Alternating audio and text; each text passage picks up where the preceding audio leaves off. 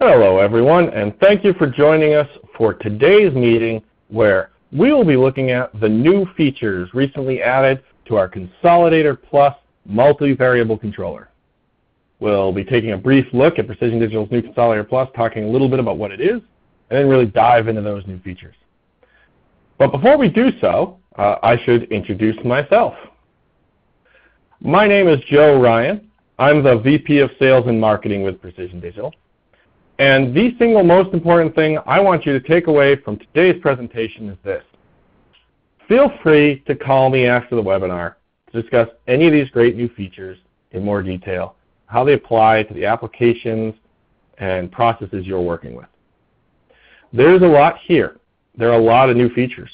And we're not going to be able to deep dive into every single one of those enough that they'll explain whether or not it can necessarily do exactly what you need it to.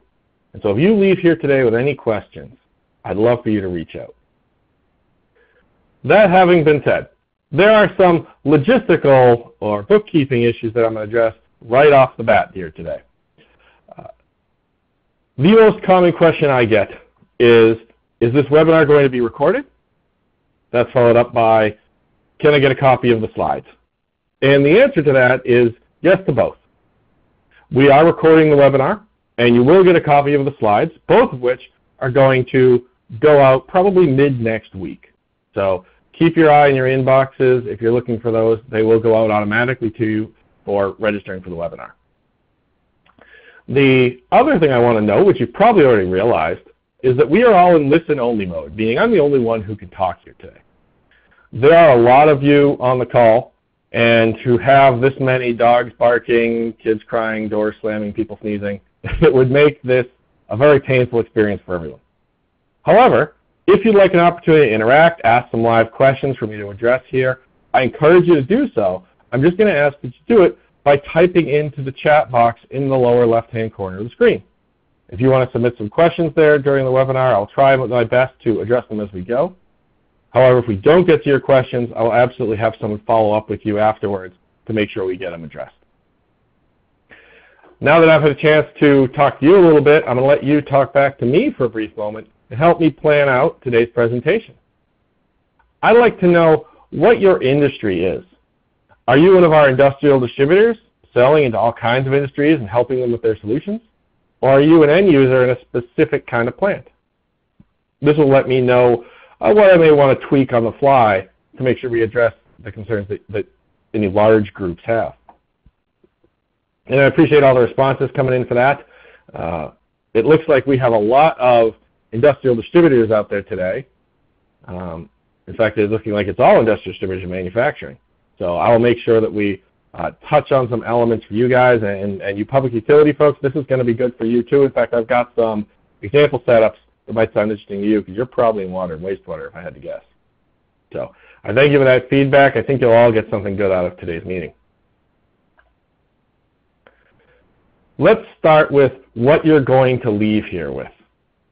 These are, these are the things I want you to know by the time we're done here today. I want you to know all about the great new features and be able to list some of them off, know what they are. I want you to see them live, see how help remember them.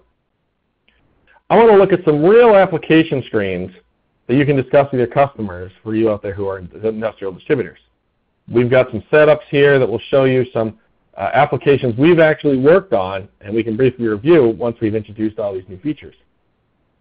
And I want you to learn why these features matter to you. My hope is that you will see here something to, you'll see here something today that will strike home and be of value. And you're going to call us up and want to talk about it. So if we do our jobs right here, we're going to know because you're going to have an interest in this product and want to learn more. So what is the Consolidator Plus? Well, that's a great question. I'm hoping that many of you have heard of it by now.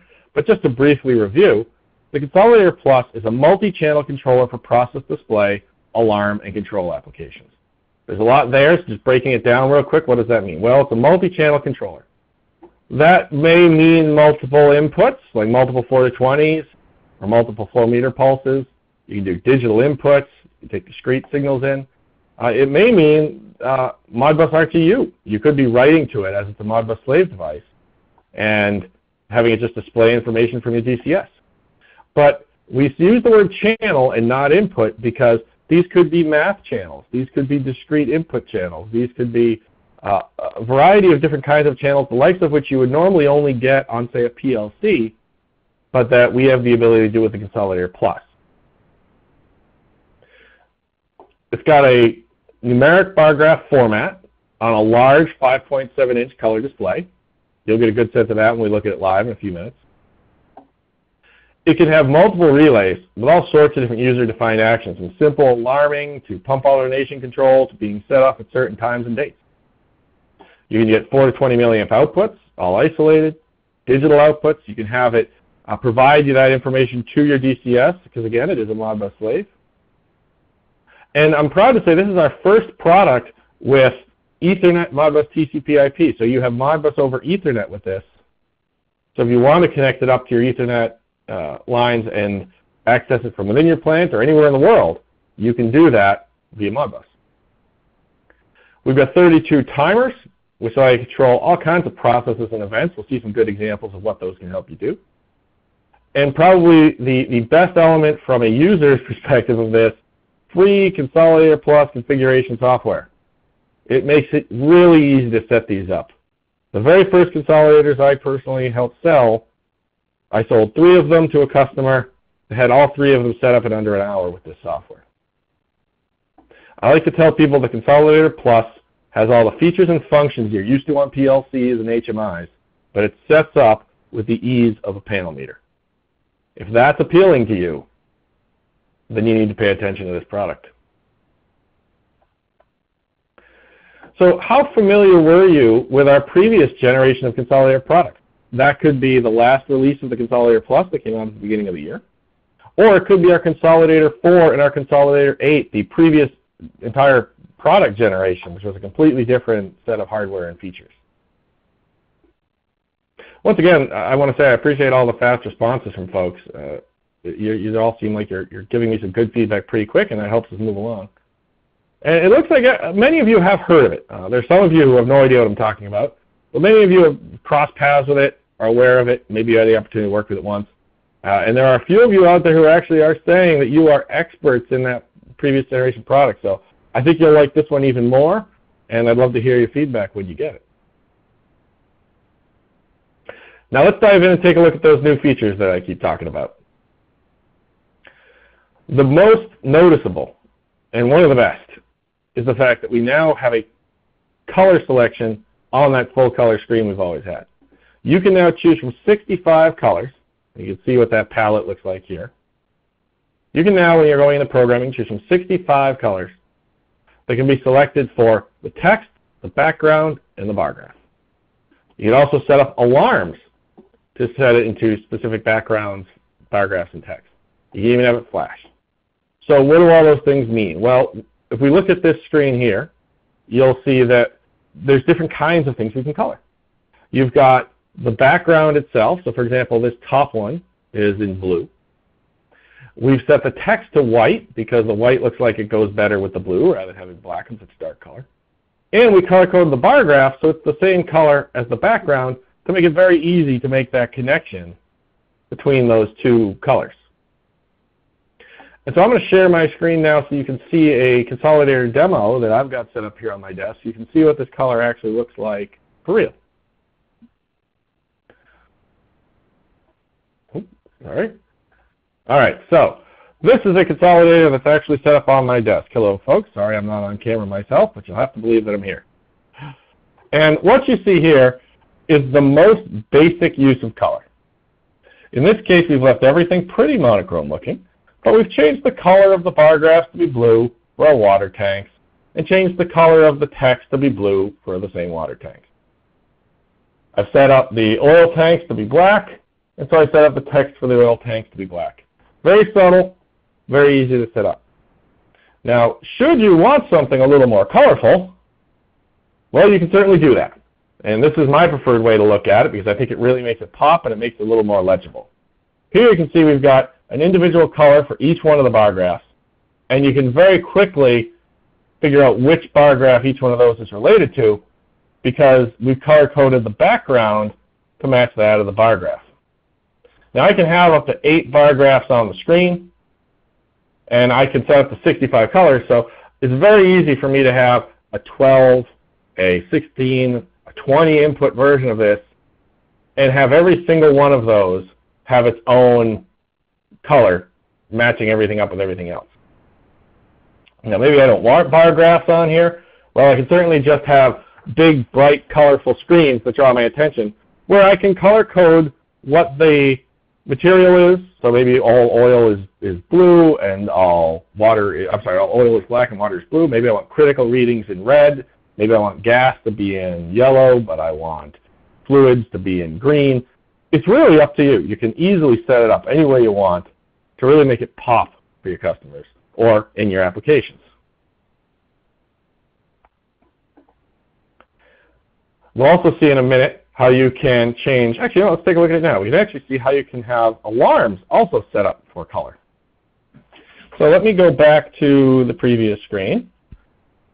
So I have one of our PD9502 signal generators here set up so that I can modify the value on channel 1, which is my tank 1 water level.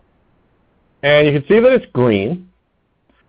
And what's nice about this is that you can, I have it green, but I want it to really draw someone's attention when I hit alarms. You see I've got a high alarm set up at that bar right there, and I've got a low alarm set up at the bar down here. And when that goes in an alarm, I don't want it red and flashing to get somebody's attention. It's just a high level water alarm. In, in this application where I've got oil as well, water is always a secondary color as far as urgency. So rather than having like a red flashing alarm, I think I'm going to set it up just to be a yellow solid alarm. And so what happens when we go over that alarm level is it now changes color so that I see yellow on my background and yellow in the matching bar graph. Now you'll see other alarms later where they're red and they're flashing. They can be blue. They, you can set those up to be whatever colors you want. But it gives you an idea that you can change the colors you've set as your alarms go off.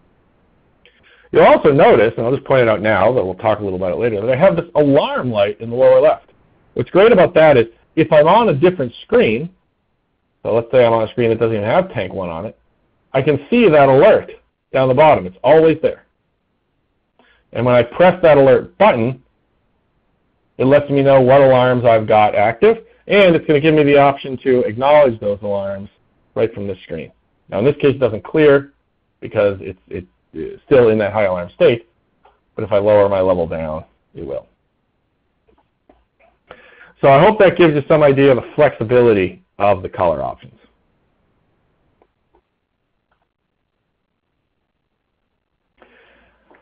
Another great new feature on the Consolidator Plus is simulation mode.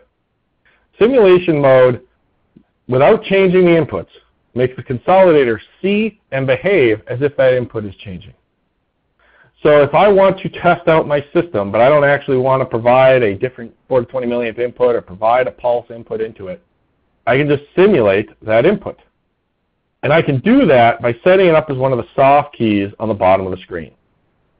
You'll see that there's five keys on the bottom of every screen. Those are programmable to be whatever you'd like those keys to be. And so sometimes in, this, in these examples we're going to look at, you'll see that they might be acknowledging relays or resetting relay timers or Uh, in this case, setting up simulate mode. So let's take a look at what that simulate mode looks like. In this case, we're going to go to Tank 1 Detail. This is a screen I built that gives me all kinds of additional information on one of the tanks from a previous screen. So in the actual real-world application, I've got four tanks here, and then each one of those tanks would have its own detail screen. I've got the bar graph that you saw previously. Then I've got its level in gallons. I've got its level in feet and inches. A constant on the screen just showing someone that the maximum tank height is 30 feet, giving them a little context for that tank level in feet and inches. I've got a rate of change display. So as I change my tank level, it will tell me how many gallons per second I'm changing. And I've even got a rate of change alarm so that if I go too fast, it gives me on-screen indications of color, and it can trigger relays, etc. And then, just for troubleshooting purposes, I've got my transmitter output level on there as well, so I can see the milliamps coming in. So all of this is just off one 4 to 20 milliamp input from my tank, and I'm getting all kinds of uh, useful information from it. But we're here to see simulate. So you'll see down at the bottom, in addition to acknowledging the relays, I've got a button set up that says Sim Channel 1, which is what we're looking at here. And all I have to do to use that is press Simulate, and now it brings up the ability to simulate that value. And I could punch in a number, but I'm going to use the up arrow just to increase my level. And it starts off slow and starts to speed up. As it speeds up, of course, it's going to trigger my rate of change alarm. And eventually, I'm going to go into my high alarm state. So any alarms, 420 milliamp outputs, math channels that I may have set up to go off of this channel now see it at 9,000 gallons, even though I haven't actually changed my 420 milliamp signal at all. And one great feature I like about simulate mode is that, let's say I bring it down out of alarm state for a minute. So I'm, I'm happy with how it's working. Everything seems to be going along nicely. Uh, I've removed it from alarm state and I'm done. I click OK. Well, I left it in simulate mode. So as I change my 4 to 20 milliamp input, you'll notice no bar graph is changing because I'm stuck in simulate mode. But if somebody walks away from this screen and forgets that it's in simulate mode, I have a yellow alert down here telling me something's not quite right. And if I click that button, it tells me, hey, you know what, you left tank 1 in simulate mode. I can go click the real button and it's just going to return it to normal for me. That is a phenomenal feature for simulate because obviously you don't want somebody leaving that like that. And you get that same impact with manual mode that we're going to see in a minute as well. So I think the Simulate feature is really great for folks who want to be able to test out their systems and really use the Consolidator Plus as the heart of their control system.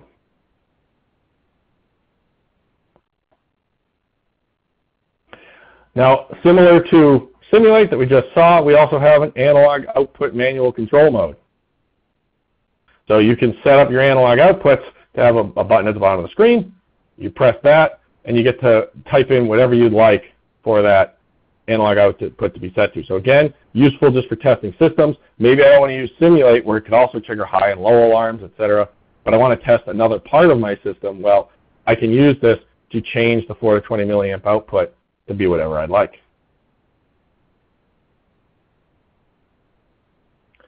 Live calibration is also now possible. This is a really convenient feature, more convenient than I think many people give it credit for, so we're going to talk about it for a moment. The best reason to use this is not, not so much because you want to recalibrate from this traceable calibrator, right? These, come from our own CalLab. They're, they're very, very accurate. Um, sure, you may want to recalibrate them every year, and you can do that. But the real value here is for when you're installing a Consolidator Plus and you don't know something about your system.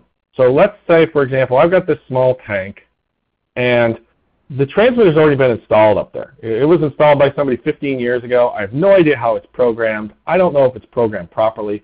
I don't know what the 420 milliamp is. But I want to get a display on this tank using that transmitter. So how would I do that? Well, now with the live calibration feature, that's really easy. Rather than programming the channel for a specific milliamp value like you would before, where you'd say, okay, 4 milliamps is equal to 0, and 20 milliamps is in this case equal to 50,000. I can take a live reading. And so I can say, you know, I'm just going to lower my tank down, take a reading, raise my tank level up, take a reading, and I'm done. So what does that actually look like? Let's, let's go through one together. So I'm going to go into my setup menu, and we're going to go to tank 1, and we're going to take some live readings of that. And so in that case, I don't know what the low-level readings are of my transmitter. So I'm going to lower my simulator down and say, you know what, let's say when my tank is quote-unquote empty, I have 5.7 milliamps coming out of it. Well, I don't know that in this example, right? All I know is I can drain my tank. I have my pumps covered by water. That's what I'm looking to do. I want to call this empty. So how do I call this empty? Well, I can uh, edit that Oh, I'm sorry. I can hold the edit button and I can press this live key. When I do that, you notice it's not asking me for a number, it's taking a reading of my milliamp value. so in this case it's 5.74, et cetera, et cetera, et cetera. Great. And now I can fill my tank up till my transmitter is transmitting whatever value it is when it's high. And when I'm happy and I want to say, you know what, I want to call this tank full. So again, I hit edit, I press live, and now it's taking some readings at full, and save that. Done. Now, I know what my readings are because it read them. I, I didn't actually know any of my 4 to 20 milliamp values. So you can see where that might be valuable for a situation where you don't quite know how the transmitter is set up. You just know this is this is 0%, this is 100%. I'd like to calibrate it for that. Now one other feature I want to show you now, because it's going to reset this for me, is what we call our backup restore. Let's say someone does this in the field and you didn't want them to. You could have set a password, you forgot to, and someone went in here and they, they started live calling everything. Well, one of the great features on the Consolidator Plus is that you can overwrite that with a previously saved backup copy. Not a factory default, that's something different. But you can actually back up your programming into the Consolidator Plus and have it to restore back to. So I'm going to go ahead and do that now. I'm going to back out of my menus and go to System. We're going to go to General. And I'm not going to save my backup. That writes a new backup into the backup memory. I'm not going to load my defaults because I certainly don't want that. I'm going to restore myself to default. Or restore myself rather to my known good. And now, when we go back into my setup menus and we look back at tank 1, I'm right back to where I was, 4 and 20. It reprograms the entire consolidator with that known good backup. So incredibly useful feature. That's actually not new. We had that before. But I like to share it because I find it's just super valuable. We have more alarm functions available. Uh, one of the capabilities you can do with the alarms, of course, now is you can have them flash. They have their own programmable color features. We looked at that earlier. Uh, but you can also now base alarms on more things like time and date. So I could have, for example, an alarm that goes off every day at 8 o'clock. Maybe that's just to get someone's attention to load something. Maybe that's because I want to have it reset a total at that point.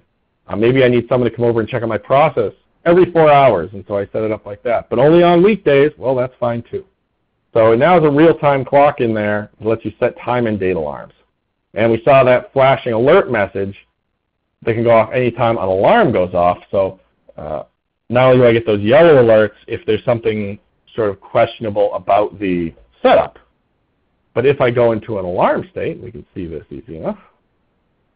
But if I go into an alarm state, I now have a flashing red down there when I press that, it tells me, okay, we got my tank one alarm high.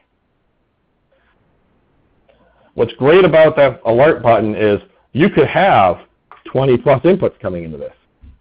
And if you're on a different screen, or even in this case where I have four, if I'm on my tank one detail screen, well, geez, I, oops, I really want to know that I have an alarm going on on tank three. Well, it's going to trigger that alert. You'll notice it doesn't trigger the alert for rate of change because it's all how you set it up.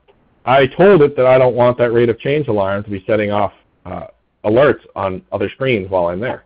So it's very flexible. There's a lot of options. And again, you're not programming anything with code. You're just clicking on buttons in the software. You're clicking the checkbox that says, you know what, use this to show alert.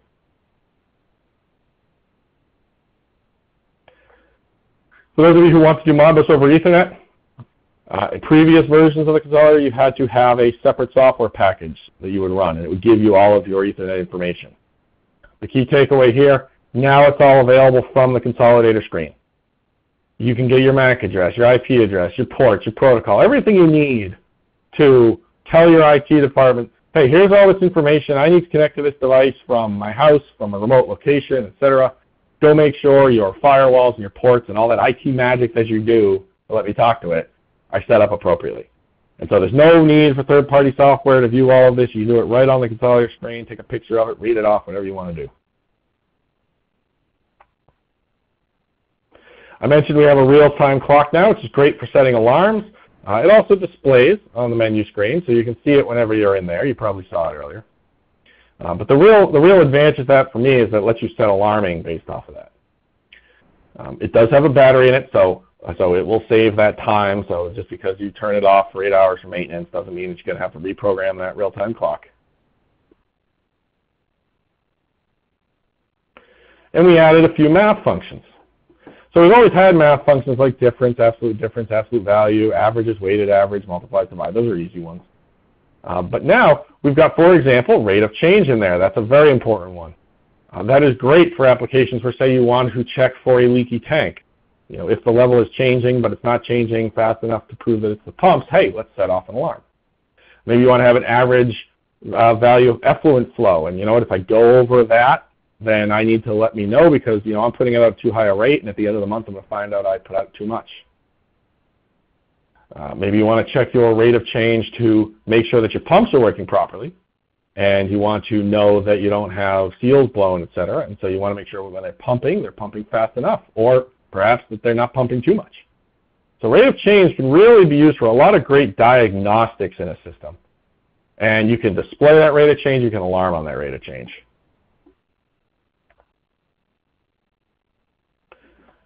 Units conversion is something that a lot of people don't even realize it has, but I think that they take a lot of advantage of. And what do I mean by that? Well, the Consolidator Plus does a lot of this automatic unit conversion behind the scenes. So there's really two ways you, that I see people using it most often. Uh, one is just straight up automatic channel unit conversion. What that means is, for example, let's say I have a flow meter, and that flow meter is set up in gallons per second. Well, I don't want to see it in gallons per second. I happen to be in Canada, let's say, and I'd really like to see this thing in liters per minute. Well, I mentioned earlier that the channels don't quite equate to inputs. So what you could do is you could set up a channel that shows it as gallons per second. Well, that's great. I don't have to display that channel. It could just be a, a math channel that happens in the background. And then I could set up a second channel, tell it, you know what, be based on channel 1, but your units are liters per minute. And if I display that channel, the consolidator is going to do all that math conversion for me and spit it out. No need for me to bust out my cell phone, start doing calculator work in it, writing things down on the back of a napkin. The other way that automatic unit conversion is very helpful is that if you try to do math on different channels and different units, it will do that math for you. So if, for example, I have two totals, right, and one happens to be in gallons and one happens to be in liters, and then I think, you know, I'd really like to see the sum of these two total flows. And so I build a channel that sums the two flows. And I say I'd like to see that in barrels. It's going to read those gallons and those liters. It's going to convert them over into barrels for the summation. And your math channel is going to spit you out a number in barrels without you having to think about it. Now, obviously, it's only going to do that within appropriate units. It, it can't convert a volume into a temperature. But wherever it can figure out that mass conversion factor between all these custom units or the ones that you, you create, it will do that. You're also going to notice, by the way, and maybe you did, that there's this logic unit down the bottom. It's got all kinds of interesting things in there, right? Pump off, pump on, stop, error warning, running, custom. Uh, what is a logic unit, right? Well, that's just where we store information for displaying alarm indication, annunciator panel readouts. You'll, you'll see those in a minute. Those are kind of interesting. And lastly on the uh, new features list, we've got an internal fan, which turns on whenever it reaches 50 degrees C, helps circulate air inside the unit and in the cabinet. Uh, and the fan slowly increases speed until the temperature rises to 60. And then the flip side of that, we've got an internal heater, which turns on at 0 degrees, maxes out at minus 10, you don't have to think about any of these. They're really just being mentioned so that you'll know it's got an internal heater that helps it work down to minus 40 C for all of you northern weather customers. And then we've got the fan, which I want you to know about just so when you turn one of these on and you hear a noise, you're going to know, hey, maybe the fan's turning on because it's particularly hot. Now, uh, I'm going to pause there for a minute just to address a couple of questions. Um, Jessica has asked so far, uh, what's the hazardous area classifications for the Consolidator Plus? And my answer to that is that today it is nothing. However, uh, we are literally in the process right now of working with the engineers at, at, several approvals agencies to get it Class 1 Div 2 approved. So uh, if you look back in a couple of months, I think you're going to find that there's a Class 1 Div 2 version of this product available. Tony was asking about the 4 to 20 milliamp outputs. Can you get PID control via those outputs? And I will say the consolidator does not do PID. Uh, you can do simple on-off control with it. Uh, you can do simple scaled control with it, but it does not do PID control. And Eric has asked, uh, will it convert volume to weight if we give it the specific gravity for a liquid? And the answer to that is sort of. It will not do an automatic unit conversion because it involves sort of an additional piece of information you'd have to give it. in order to make that conversion. However, if you wanted to do that, it'd be very easy to make a scaled channel or a math channel that would do that for you. So, so it can absolutely be done. It requires a very, very minimal amount of programming. It's not just going to automatically happen if you select it. Uh, but there's definitely a way to do that if that's what you like to do. Um, and uh, Mark is asking, uh, is it NEMA 4X? And the answer to that is yes. Like all Precision Digital panel mount products, uh, the front of the Consolidator Plus is a NEMA 4X seal. So I know it's got the LCD and it's got some rubberized buttons. That is all sealed from the front. So as long as you put it in a NEMA 4X box, you're going to keep your NEMA 4 seal. And it is also sunlight readable, so it's perfect for outdoor environments where you just put it in a NEMA 4X box, you can read it in direct sunlight, and you're good to go. Uh, along those lines, actually, Tracy just asked, is it mainly panel mount or is there an option with its own standalone housing? The Consolidator Plus itself is panel mount, but we offer a line of accessory enclosures that you can put it in. So it's not like you would order a different version of the Consolidator Plus and get a integrated box of some kind. But we have plenty of boxes available for it. We just need to find the one that is the one you're looking for. Um, we, we currently have one I suspect by early October we're going to be launching another five. So by the time you actually go to look at it, uh, hopefully what you'll see is we've got six different boxes ranging from fully covered and enclosed plastic ones with a clear cover uh, to painted steel and, and even some that are plastic that don't have uh, fully enclosed cover that you just use the, you have access to the buttons on the front. So we have a variety of different enclosures for you. Uh, as far as the temperature and operating range of the unit and display, uh, asked by Al, uh, the unit is good for minus 40 to 60 C, I believe. So now, why don't we take a look at what some of these new features can do when you actually want to deploy them out in the field. Uh, we'll take a look at some of the screens that we've got set up here on the consolidator I've got to share. So we've already taken a look at my initial channel, my channel with more, or, oh, sorry, my initial screen, my screen with more color. We can see, oh, sorry to those who may hear my dog barking in the background. Uh, we can take a look and see what that same screen would look like if I were to take the bar graphs off of it, if bar graphs are something that I'm just not interested in. And then we saw what the Tank 1 detail screen looks like, where I'm just getting a whole lot more information about each one of my individual tanks. Well, obviously this can do a whole lot more than just basic tank indication. It just happens to be one of the most popular applications. And so another one is for sump level control, especially for facilities with multiple sumps. You can bring all of them into this one location and manage all of them. And so what we've got shown here is our duplex pump controller. We've set it up so that we've got two pumps, pump one and pump two, a pump status indicator to let me know if any of those pumps are on, and we've got a feet and inches display for the sump level. So as my sump level goes up and the water rises, I'm going to get on-screen indication as it turns yellow that my sump level is high. It'll let me know that I'm draining my sump, show me that a pump is turned on and which one, and it's even going to track the run time and the cycle time for those pumps, which is great for maintenance purposes. Now as my level drains down, it will eventually clear that alarm. The sumps turn off, the pump status returns to off, everything's okay again.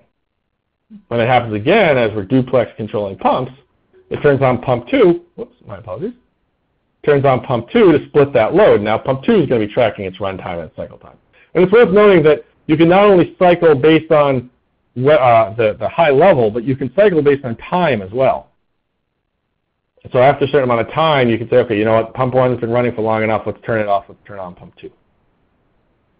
Now if pump 2 can't keep up and the level keeps going up, I've got a second alarm here which is going to turn it into a red alarm now. Hopefully that will get somebody's attention. Both pumps are on. Both pumps are tracking time. And they'll both stay on in this case until I clear my, my sump level alarms. I've also mentioned in the past those soft keys at the bottom of the screen. You'll see I've got reset relay 1 and reset relay 2. So when I come and I decide I want to do maintenance on, let's say, pump 2 here, it's been running for, for 53 days without having been changed. It's been cycled 458 times. Well, hey, I want to reset that. So I'm just going to hit this reset to key, confirm that I actually really do want to do it.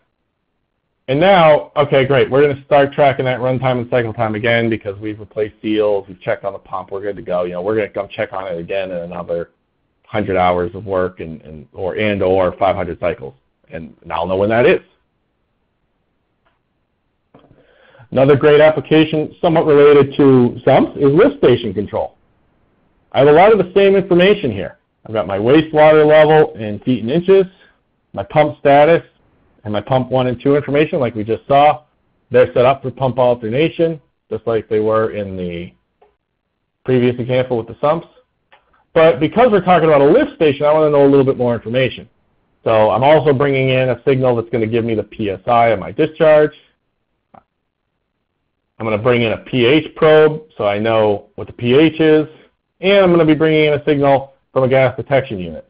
So now I've got all the information that my lift station wants all on one screen. And if I've got multiple lift stations, well, I can just make these lift station 1, lift station 2, lift station 3, and have a screen set up for each one of those.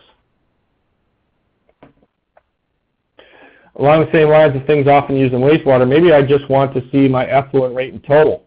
Uh, this is set up like this because we had a customer who wanted to be able to see it from 30 feet away. And so we just put really basic displays on each screen. You know, I want to see really big numbers for the rate in total.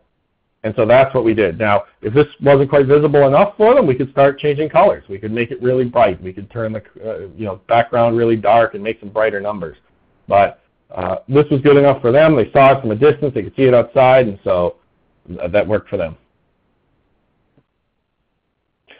And then here's an example of what multiple flow rate and totals may look like on the screen. To help track which totals are connected to which flows, uh, you can see that we color-coded them all, much like we did with the tanks earlier in the bar graphs. And of course, I can set the units for all of these. So, you know, I have one set up to liters, at a rate of liters per day. We've got gallons per second, gallons per minute, gallons per hour, whatever is appropriate for that specific flow meter's readout. And then down in the lower right, we programmed it to reset totals. So I can choose to reset that total. You know what? We're just going to reset everything. Start counting them all again. Those could be specific totals. You know, you can say, okay, you know what? I don't want to reset all of them. But that just happens to be how this one was set up. Gas detection is another popular application. Uh, this takes advantage of some of the advanced alarm features. So in this case, we're measuring methane percentage. We're giving an exposure time. And we're saying the status of a vent and a door. So the real world application for this was the customer wanted to be able to measure the methane percentage and then if it were to go over a certain level, track the number of minutes of exposure in the area. So what's the maximum amount of time somebody could have been exposed to this? How, how long was it over the allowed percentage? And if you went into that alarm state, they wanted to turn on their vent fans and they wanted to open the garage doors and really just try to flush the air out of there as fast as they could. They also wanted to leave these on for a time after the alarm cleared. So as my percentage goes up, I'm going to pass by my first alarm. And you'll notice now that my minutes of exposure starts ticking up again. So right now we're at 0.2, 0.3. That's going to keep going up. I've got a yellow alarm to let me know that something's wrong. My vent fan is now telling me that it's on, and my door status is letting me know that they should be open. If it keeps rising up, now I go into a red flashing alarm again to try to really get some attention here. And I can tie that into relays that will set off additional horns and lights and indication that, okay, you got a real problem here. Now, hopefully, when the vents turn on, uh, the vents, the vent fan turns on and the doors open, that level is going to go down. And you're going to notice now, when I clear this alarm in a moment, though I'm going to be out of alarm state, my vent fan and my door status are going to stay on. I've got a green indicator over here to let me know that things are okay, but I did recently have an alarm. And then after some certain amount of time that you set, that vent fan turns off and that door status closes again. So it's a really great gas detection application that took advantage of a lot of the advanced features here, the timers, uh, and the ability to tie all these things into the various relays. And down the bottom, I've got the ability to reset my timer, which is tracking my minutes. So once I realize, okay, everything's fine, we've got all of that incident recorded, I can hit my reset timer, and we're back down to zero minutes of exposure time. So the next exposure will be tracked appropriately. I mentioned those custom units earlier and those logic units. Well, one of the great things you can do with that is set up really interesting annunciator panels. So I don't have any bar graphs or any numbers even on this screen. All I'm doing is tracking different uh, alarms or different discrete inputs. And so here everything has a label. I know I'm talking about my north sump, my bearing temperature, my release valves open, my vent fans off, and the, the quote-unquote logic units let me actually put some unique uh, indicators there to, to tell me more than just is it on or off, is it red or green. So for example, I'm, I'm telling people, okay, you know, my vacuum pressure is normal. It's not vacuum pressure off. It's vacuum pressure is normal. My feeder valve is in the feed state. My vent fan is off. My circulation pump is stopped. And as I go into alarm states, either from high analog inputs or discrete inputs changing, I can set these to be different colors of alarms. I can have some flash and some not. And I can change the text to tell me, again, more information than just your basic annunciator panel is going to give you. So now, you know, we can offer warnings. We can tell people pumps are running. We can tell them the positions of the feeder valves. Much more information than you're going to get off of just like a blinking LED on an annunciator panel. As I clear those, they're going to return back down to what they originally were. And the last screen I've got to show is the five-zone bar graph. And so what you see here is an example where the Consolidator Plus had replaced a whole lot of LED bar graph indicators being used for bulk storage, which is why they're all bulk storage tanks. They're all reading pounds. And everyone's got the same high alarm, high high alarm, low alarm, and low low alarm. And in the normal state, they're all just green, letting you know everything's okay. And it's called a five-zone bar graph because as that level gets higher, that'll go and change into a yellow state, draw attention to it, and if it gets high high, it changes to red. And what's real nice about this is as that red alarm clears, it doesn't go back to normal, it goes back to your warning state. It goes back to yellow. And that same thing happens when you decrease the level and you see the low alarm, it turns yellow. If it keeps going down, you get to red, and then it clears back to yellow, and then it clears back to green. So I hope that gives some idea of the different kinds of displays you can have on Consolidator Plus and what some of these new features might help you do. Now I know that many of you out there said that you were industrial distributors, so there are several ways you can choose to show this to your customers. We do have demos available if you'd like to talk about that. I'd love for you to give me a call or reach out via email. We also have Consolidator Plus posters, something very easy to just stuff in your portfolio and bring with you when you're going to see customers. It's got an actual size picture of the Consolidator Plus, and the back has all sorts of valuable information about the product. So it's a nice way to have a good lead behind on the Consolidator, show them what it really looks like, and start a conversation. Um, I always recommend that when you go and you show this, you start off talking about sumps. You know, it's a great opener. Oh, do you have sumps around here you'd like to see more information on, perhaps monitor for maintenance? Because everywhere has sumps. And so even if that's not where you land, and the conversation goes off in another direction once you show this to them, which it very well may, it's a nice way to get you in the door. Now there's a few more questions. Uh, before I ask those, I've got one more for you. Before I answer those, I've got one more for you. Uh, would you like us to contact you or your office for additional training? Perhaps some of you manufacturing folks see this and think, wow, I could really use it in my plant. I've got an application I'd like to discuss. Maybe some of our distributors who are here think, wow, I'd really like to learn more about this, talk about the demo, get myself some posters. So if any of those things are true, do me a favor, click yes here, and we'll reach out and we'll talk to you. Now I'm going to answer a couple more questions. Uh, to do that, I'm going to jump back to my earlier slide. It's got my contact information on it, just so you can take that down if you'd like. Um, so let's see here. Give me one moment just to find my questions. So Tim has asked, is there a historian in this device? I think what you're asking is, can it do data logging?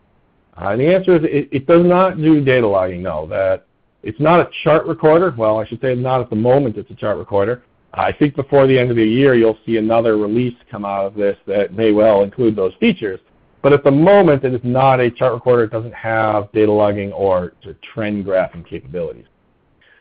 Uh, I also got a question from Robert asking about cost range for this.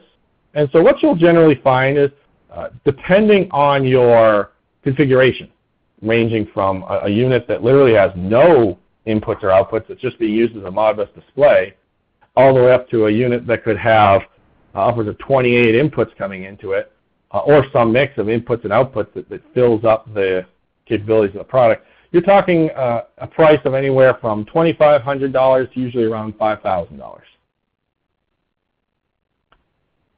Uh, there's also a question that's come in, but what is the maximum number of inputs this can accept? And uh, that's an interesting question because the way the device is populated is that there are input and output cards that go into the back of it. In fact, I can show those to you in a moment.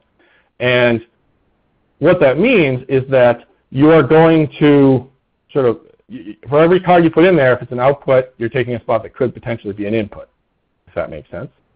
And so the answer to your question is that uh, you can have up to 28 420 milliamp inputs. You can have up to 25 10 amp Form C relays, but you're not going to get 28 inputs and 25 Form C relays.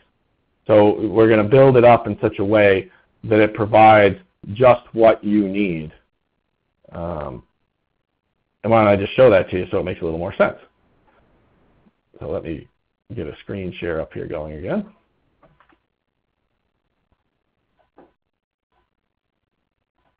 All right, and so this is a picture off our website where you can go find more information about the PD9000 Consolidator Plus. And this is showing you the uh, inside of an enclosure we've got it installed in. And what I wanted to show you is that on the back of the unit you have these slots. Use a better color. You've got these slots that hold I.O. cards. And so you can have up to those maximums. You just have to balance what you're going to be using for your inputs and outputs. Usually what we see is a mix. So Someone may, for example, fill three cards with 4 to 20 milliamp inputs, which is going to get them 12 4 to 20 milliamp inputs. And then they may use those other four slots for relays, which is going to get them 20 relays. You can get four inputs and five or five outputs in a slot. And that's probably pretty confusing. Uh, the best way to do it is just talk to us or come to our website and configure yourself a unit. Uh, the last question we'll field here today, because uh, I do appreciate it that you've been with me for quite some time here, uh, is can you add those input cards after purchase? Uh, and yes, you can absolutely do that. So thanks for asking that, Steve. You can add the inputs and the outputs after purchase. It's a very easy thing to do. You pop some screws off the back, you slide a card in, you put the back back on. Um, it was, it's been designed since the beginning to be able to do that. And that is something a lot of folks do. They, they buy a lower populated version of it with the intention of, well, as we as we do more work in this plant and we roll out more of the needs to connect to this, we'll deal with it when that time comes. They know a little bit more about what their requirements are going to be. So with that, I thank you very much for attending, folks. Uh, you've been a great audience. I appreciate all the questions. I am sorry that I did not get to all of them. Uh, if I did not get to your question, I will be sure to have someone follow up with you next week. My final request of you is this. There's a survey when you leave here. If you would just take one minute and fill that out, give us any ideas you have on what other presentations you'd like to see, I'd certainly appreciate that. I hope many of you get the chance to try this product. I think you're really going to like it. And even more so, I hope I get a chance to talk to you soon about it. Thank you very much. Hope to hear from you, and I hope the rest of you have a good day and a great weekend. Thanks.